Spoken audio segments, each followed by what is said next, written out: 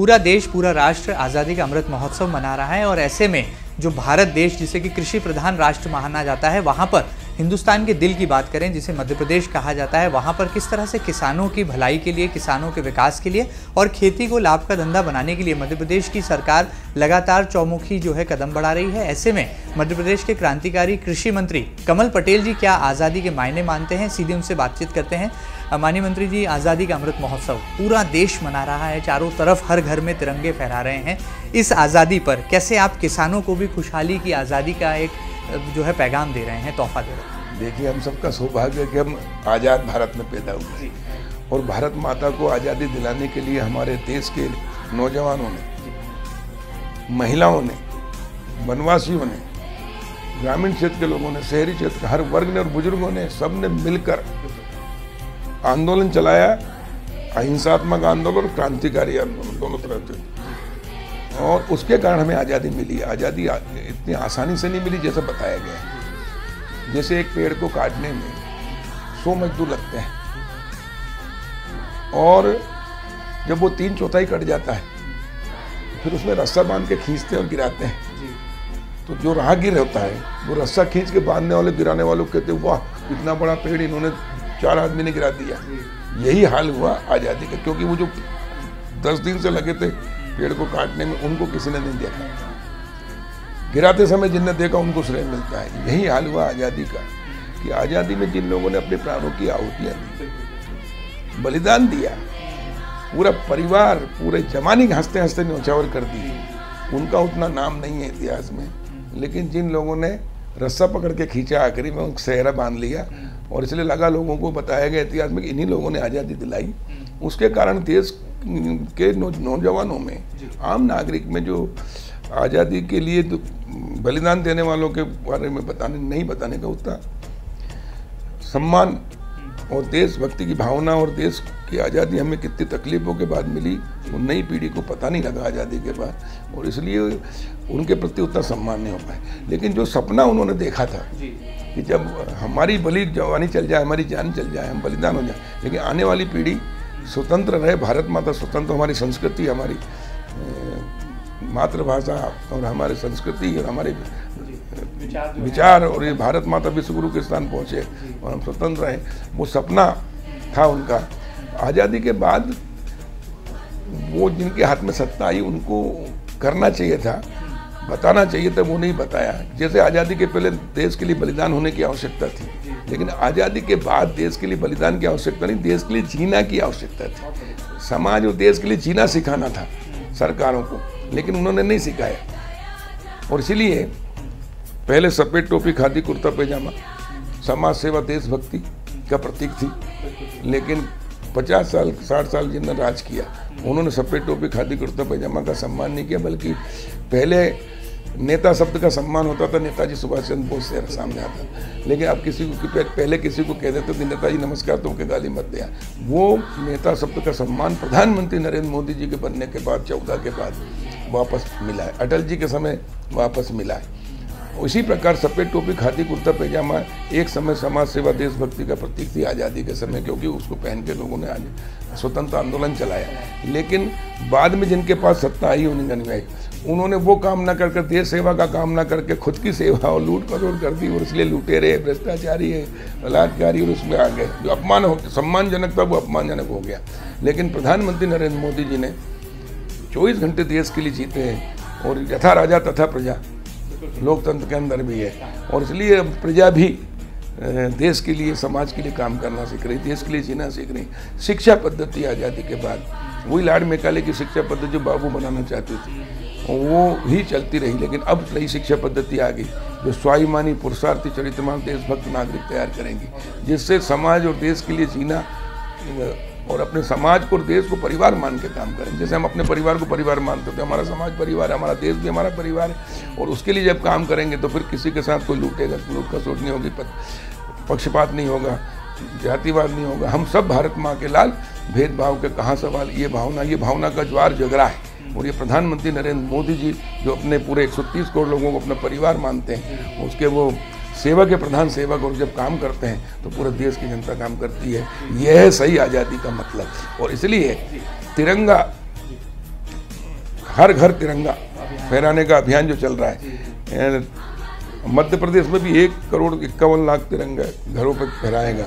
इससे एक देशभक्ति की भावना जगेगी राष्ट्र प्रेम की भावना जगेगी, और हमारे राष्ट्रीय ध्वज के प्रति सम्मान बढ़ेगा। और हर व्यक्ति राष्ट्रीय, राष्ट्रवादी हो राष्ट्र के लिए, राष्ट्र पहले, फिर मैं। ये भावना जगेगी लेकिन आज़ादी के बाद राष्ट्र पीछे हो गया, व्यक्ति आगे हो गया, और उसके कारण ये गड़बड़ियाँ आई थी। लेकिन अब राष्ट्र प्रथम, और मैं बाद में। और उसके कारण अगर राष्ट्र को हम प्रथम रखेंगे तो राष्ट्र आगे रहेगा इक्कीस सदी भारत की सदी बनेगी। और विवेकानंद जी का जो सपना था कि बीसवीं सदी अंग्रेज़ों की लेकिन इक्कीस सदी भारत की होगी तो प्रधानमंत्री नरेंद्र मोदी जी के नेतृत्व में हम अपनी आँखों से देखेंगे कि हमारी इक्कीस सदी भारत की सदी होगी भारत माता विश्वगुरु बनेगी। भारत माता सोने की चिड़िया भारत सोने की चिड़िया बनेगा। भारत के 130 करोड़ लोग 200 दो सौ दो करोड़ 260 करोड़ हाथ वो काम होगा अपनी योग्यता क्षमता के अनुसार और जब दोनों हाथ 260 करोड़ हाथ काम करेंगे तो हम इतना उत्पादन करेंगे हर क्षेत्र में और जाके हमारे यहाँ की पूर्ति भी करेंगे लोगों की और हम विदेशों को निर्यात करके विदेशी पूंजी प्राप्त करके भारत को पुनः सोने की चिड़िया बनाएँगे। भारत आत्मनिर्भर तो बनेगा ही लेकिन समृद्धशाली और खुशहाल भी होगा जिससे पूरी दुनिया को हम मार्गदर्शन करेंगे। कृषि मंत्री जी क्या मानते हैं? मध्य प्रदेश में किसान आज़ाद हुआ है आज़ादी की समृद्ध महोत्सव पर कितना वो स्वतंत्र है? अपनी खेती के लिए और सरकार कैसे उसे एक समृद्धशाली किसान बनाने की दिशा में लगातार अपने कदम बढ़ा रही है? देखिए देखिए आज़ादी के पिछहत्तरवा वर्ष अमृत महोत्सव चल रहा है। जो पहले सरकारें रही हैं जिनके हाथ में सत्ता रही जाए कांग्रेस की साठ साल राज किया। हम्म। लेकिन किसान को सिर्फ़ खाद हम्म। बीज दवाई tractor harvester motor pipe engine पर नहीं मिलता। पहले तो वो साहूकार के चंगुल में था। ब्याज चक्रवर्ती ब्याज लगता जमीनें बिक जाती थी। लेकिन जब अटल बिहारी वाजपेयी जी प्रधानमंत्री बने तब गाँव और किसानों की चिंता की गई। हम्म। देखिए ये देश गाँव का देश है। ये देश कृषि प्रधान देश है। हमारे राष्ट्रपिता महात्मा गांधी भी कहते थे, असली भारत गाँव में बसता है गाँव के विकास से ही देश का विकास होगा। और गाँव में किसान खेती करता है या मजदूरी करता कृषि पर आधारित। लेकिन गाँव में सत्तर प्रतिशत लोग रहते थे जब आज़ाद हुआ भारत, शहरों में तीस प्रतिशत। लेकिन गाँव के लिए बजट का खर्च करती थी कांग्रेस की सरकार ने तीस प्रतिशत जहाँ सत्तर प्रतिशत लोग हैं और शहरों में तीस प्रतिशत, वहाँ सत्तर प्रतिशत। इसलिए शहरों का तो थोड़ा बहुत विकास हो गया, लेकिन गाँव पिछड़ते गए शहर और गाँव की खाई चोरी होगी। और इसलिए गाँव से पलायन होकर शहर की और गाँव में कोई सड़क नहीं, बिजली नहीं, पानी नहीं, स्वास्थ्य नहीं, स्कूल नहीं, शिक्षा नहीं, कुछ नहीं था। गाँव बिल्कुल नारकी जीवन जीते थे। बारिश होते से घुटने घुटने कीचड़ होता था। कहीं जा नहीं सकते, घर के बाहर कदम नहीं रख सकते थे। लेकिन जब अटल बिहारी वाजपेयी जी प्रधानमंत्री बने तो उन्होंने इस जो विकास का पहिया उल्टा घूम रहा था, उसको सीधा किया। गाँव पर सत्तर प्रतिशत बजट खर्च किया, शहरों में तीस प्रतिशत, जितनी जनसंख्या न्याय उतना और उसके कारण गाँव के अंदर प्रधानमंत्री ग्राम सड़क, प्रधानमंत्री फ़सल बीमा योजना, प्रधानमंत्री किसान क्रेडिट कार्ड योजना, गाँव की सड़कों के लिए योजना, पेयजल के लिए योजना।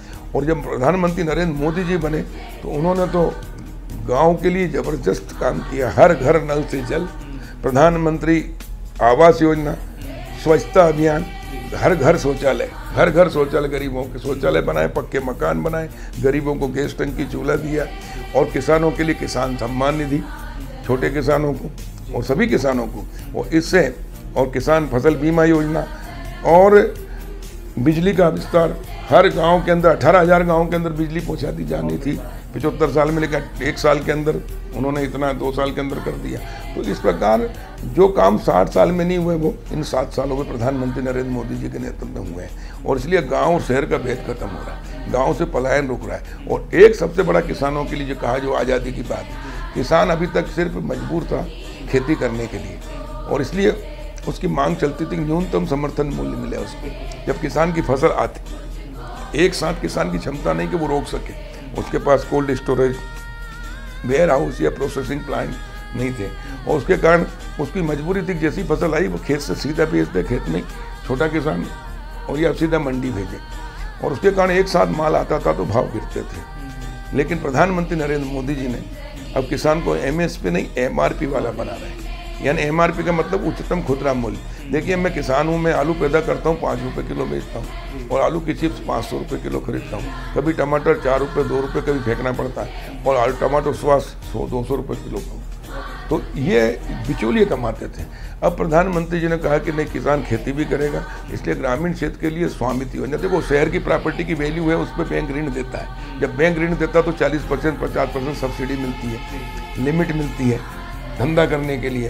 सालवेंसी बनती है, कोर्ट में जमानत होती है लेकिन वही प्लाट गाँव में है, मकान गाँव हमारे आबादी में बसते हैं। आज़ादी के इन सत्तर सालों तक उनकी कोई वैल्यू नहीं बोली गाँव का प्लाट एक मका, एक लाख का हो या एक करोड़ का या सौ करोड़ का, हज़ार करोड़ की गाँव की प्रॉपर्टी आबादी की कोई वैल्यू नहीं थी। प्रधानमंत्री जी ने प्रधानमंत्री स्वामित्व योजना लाकर गाँव की प्रॉपर्टी की वैल्यू ड्रोन कैमरे से सर्वे करके, जो गरीब आदमी झोपड़ी वाला है, उसको भी कलेक्टर गाइडलाइन से वैल्यू होने से उसको जमानत कराने में मकान बनाने के लिए ऋण मिलेगा। दुकान के लिए ऋण मिलेगा, व्यवसाय के लिए लिमिट मिलेगी, सालवेंसी बनेगी, यानी जो शहरी सुविधा थी वो अब गाँव में गई। तो कायदे से गाँव अब आज़ाद हुआ है। भारत आज़ाद हुआ पंद्रह अगस्त सैंतालीस को, लेकिन गाँव को और किसानों को, गाँव के लोगों को आज़ादी दिलाई है प्रधानमंत्री नरेंद्र मोदी जी ने। 24 अप्रैल 2020 को एक पायलट प्रोजेक्ट करके पाँच राज्यों में, और 24 अप्रैल 2021 को पूरे देश में लागू किया स्वामित्व योजना तो मुझे बताते हुए खुशी है कि मध्य प्रदेश के मुख्यमंत्री शिवराज जी के नेतृत्व में देश में स्वामित्व योजना में हम प्रथम स्थान पर और मुझे खुशी है कि हरदा देश का पहला जिला है जहाँ शत प्रतिशत सर्वे होकर हमने छियालीस हज़ार नौ सौ चौवालीस लोगों को स्वामित्व कार्ड प्रधानमंत्री जी के हाथों वर्चुअल मेरे जन्मदिन छः अक्टूबर दो हज़ार इक्कीस को हमने दिलवाए, मुख्यमंत्री जी वहाँ मौजूद थे, उनकी अध्यक्षता। में और एक ऐतिहासिक कार्यक्रम हुआ, जिससे गाँव की तकदीर और तस्वीर बदलेगी, दशा और दिशा बदलेगी और विकास के द्वार खोलें। अब गाँव शहर जैसे हो रहे हैं। अब गाँव का किसान खेती के साथ व्यापार, व्यवसाय, उद्योग भी लगा सकेगा। सब्सिडी का लाभ लेगा।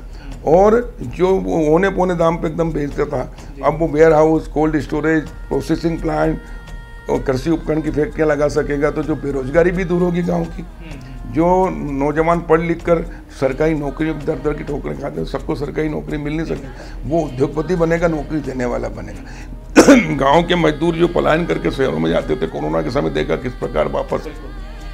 तो गाँव में ही उनको रोज़गार मिलेगा, अपने पक्के प्रधानमंत्री आवास में वो रहेगा, अच्छे वातावरण में रहेगा, और गाँव के अंदर ही लोगों को रोज़गार मिलेगा तो दो हाथ को काम मिलेगा तो इस प्रकार बेरोजगारी दूर होगी।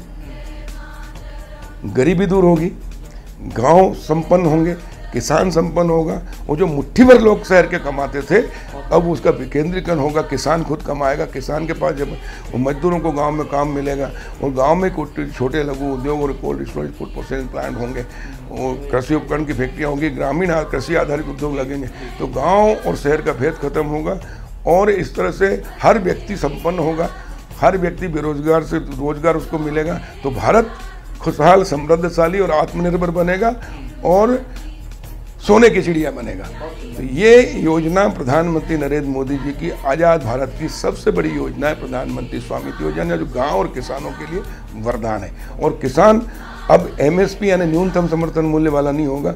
घाटे की खेती नहीं करेगा, बल्कि उसकी आय दोगुना होगी, चार गुना होगी, और वो उद्योगपति भी बनेगा, वो निर्यात भी कर सकेगा, बिचौलिए खत्म होंगे, और किसान आत्मनिर्भर होगा तो मजदूरों को भी गाँव के लोगों को रोज़गार मिलेगा और पलायन रुकेगा।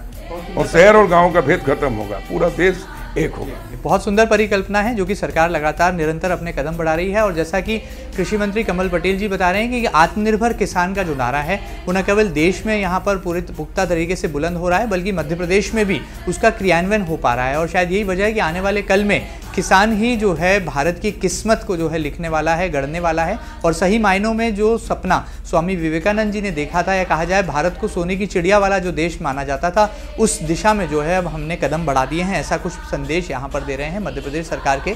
कृषि मंत्री श्री कमल पटेल जी। जाते जाते मानी मंत्री जी मध्य प्रदेश की साढ़े सात करोड़ जनता को क्या खास संदेश होगा इस स्वतंत्रता दिवस पर? क्योंकि ये स्वतंत्रता दिवस आम स्वतंत्रता दिवस से थोड़ा अलग है। हम आज़ादी का अमृत महोत्सव मना रहे हैं और हर घर में, या कहा जाए पूरे हिंदुस्तान में तिरंगा लहरा रहा है। बिल्कुल।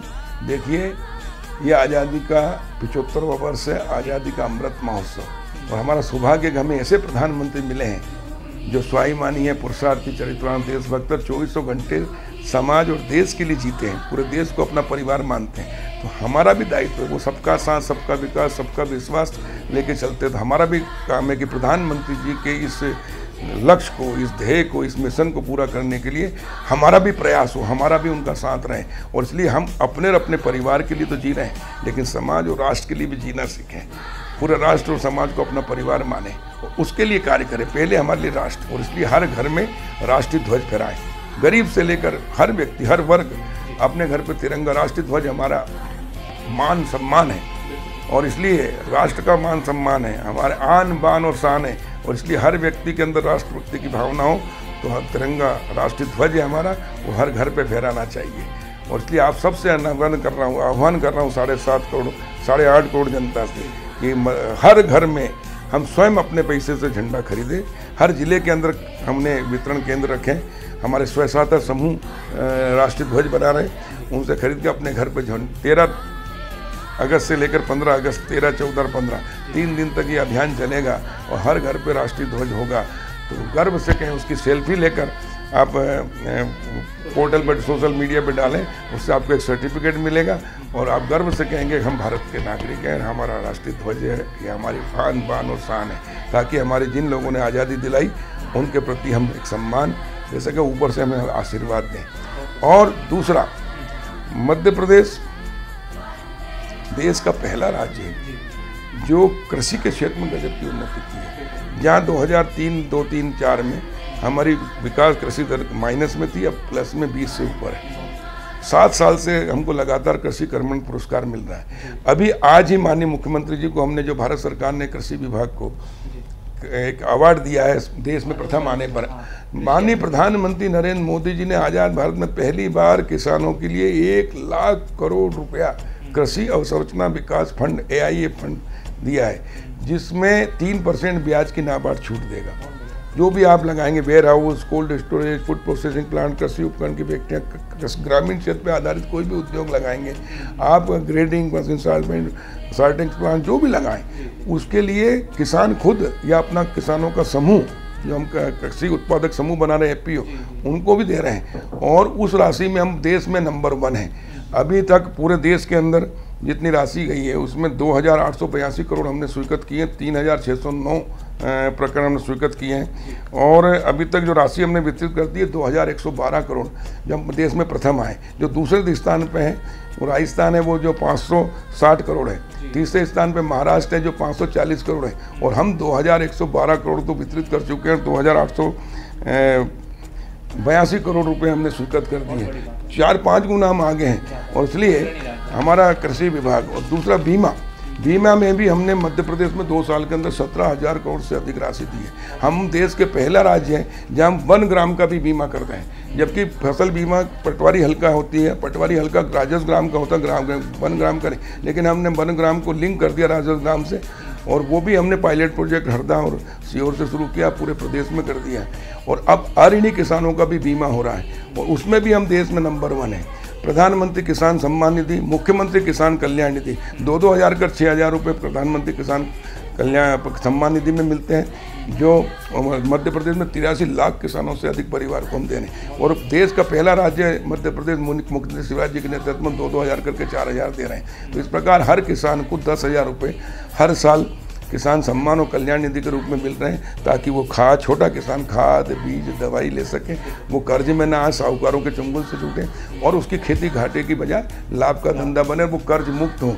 इसमें हमने सफलता प्राप्त की है, ये ऐतिहासिक निर्णय है। और फ़सल बीमा की अगर पूछा अपने सुरक्षा कवच भी दिया है, और इसमें भी हम अरिणी किसानों का भी बीमा करने में भी तीन लाख पचहत्तर हज़ार किसानों का, अरिणी किसानों का बीमा हुआ है। तो ये अपने आप में एक रिकॉर्ड है, जो मध्य प्रदेश में हम करने जा रहे हैं। हम मध्य प्रदेश को रसायन मुक्त खेती करना चाहते हैं जहाँ की पर्यावरण की रक्षा हो। लोगों का स्वास्थ्य भी ठीक हो, क्योंकि पेस्टिसाइड का अत्यधिक उपयोग से कैंसर जैसी घातक बीमारियाँ हो रही हैं और उससे मुक्ति मिले और विदेशी जो पैसा हमारा जा रहा है दूसरे देश देश का पैसा विदेशों में जा रहा है वो भी रुके और खेती की लागत कम हो, उत्पादन अधिक और जो उत्पादन हो वो स्वस्थ हो, ताकि लोग जो खाएँ, खाद्यान्न, अनाज, सब्ज़ियाँ, उससे वो स्वस्थ हो। और इसलिए प्राकृतिक खेती की ओर हम अग्रसर हो रहे हैं और उसमें भी हमने आज ही बजट कैबिनेट में एक प्रस्ताव पास किया है। कि जो किसान एक एकड़ कम से कम खेती में प्राकृतिक खेती करेगा, और वो प्राकृतिक खेती होगी देसी गाय से, उसके गोबर से, और उसके गोमूत्र से दवाई बनेगी, और उससे नौ सौ रुपये महीना उस किसान को हम देंगे। हर महीना तो बारह महीने के अंदर उसको दस हज़ार आठ सौ रुपये मिलेंगे। ऐसे मध्य प्रदेश के सभी बावन जिलों में हमने सौ सौ गाँव तय किए जहाँ प्राकृतिक खेती होगी। हर गाँव में, हर गाँव में सौ सौ किसान, और उसमें भी पाँच किसान को हम उसमें प्राकृतिक खेती का अनुदान देंगे तो पहले साल हम छब्बीस हज़ार किसानों को नौ नौ सौ रुपये महीना देने का शुरुआत कर रहे हैं, जो गुजरात में पहले हुआ है, शुरू है, दूसरा राज्य मध्य प्रदेश है। प्राकृतिक कृषि बोर्ड के हमारे अध्यक्ष, माननीय मुख्यमंत्री जी को बनाए हैं। उनको अध्यक्षता में जो कार्यक्रम हो रहा है। इसके लिए हम किसानों को ट्रेनिंग भी देंगे, प्रचार प्रसार भी करेंगे, ताकि किसान की लागत कम हो, उत्पादन बढ़े, उत्पादन का रेट अच्छा मिले जो लोग उसको खाएँ वो स्वस्थ रहें और हमारे गोवंश की भी रक्षा हो। तो ये एक देश हित में बहुत बड़ा निर्णय लिया है और आने वाले समय में हम पूरे मध्य प्रदेश को प्राकृतिक खेती की ओर बढ़ाएँगे।